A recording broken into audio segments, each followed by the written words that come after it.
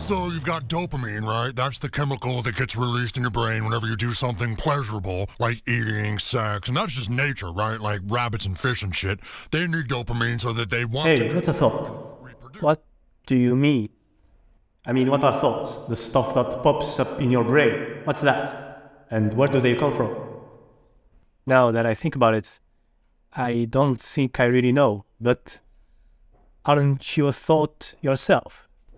Yeah. So, like, can you just tell me what you are? No. What do you mean, no?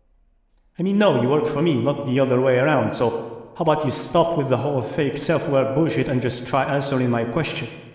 Alright, alright, but you really need to start working on that temper then. Fuck you. Okay. Let's see. How about we try this? Neurons release brain chemicals known as neurotransmitters, which generate these electrical signals in neighboring neurons. The electrical signals propagate like a wave to thousands of neurons, which leads to thought formation. What do you mean, which leads to thought formation? You didn't answer the most fucking important part there. Okay, let's just Google the literal meaning of thought. An idea or opinion produced by thinking or occurring suddenly in the mind. Jesus Christ, you're still not answering my fucking question! Okay, so a few days have passed, which I've spent scouring the internet for answers and pondering with the very classic hand on chin pose, while my brain was emitting fucking gamma waves from the sheer amount of ponder force I was generating.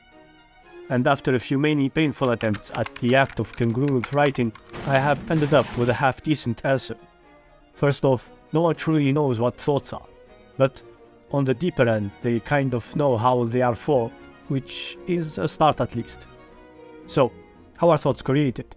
The thing is, I can't answer that question without going through a tangent about what our brain does.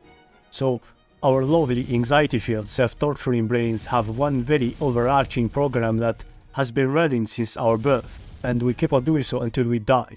Our brain tries to decode physical reality in such a way that it could be both the most accurate and useful for us.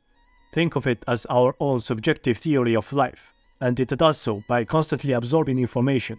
Our brain branches outward, takes a bunch of immediate information, brings it in and digests it, and using that new information destroys a few things and builds a few others, like a self-correcting mechanism, which, by the way, is the model we use to make deep learning.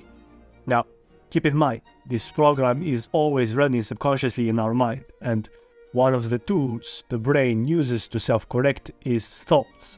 You don't truly notice most of your thoughts, do you? Mostly because most thoughts don't deserve to get noticed. Our thoughts are in an unending constant battle against one another for conscious attention.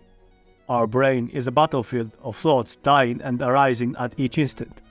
In fact, it is very hard to consciously notice a thought. If you don't believe me, try mindfulness meditation for like 30 seconds. Having established this, we can now branch into the thoughts that do in fact manage to get into the surface.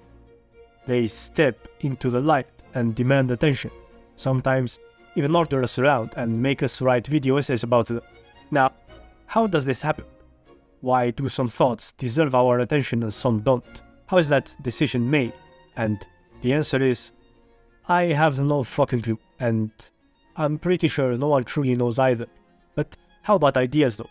Or our eureka moments? Those thoughts feel like revelations from a higher being, like being possessed by something. I will admit that when you think about it, it nearly seems like a magical spell. So, what's happening with that? Well, think of it this way.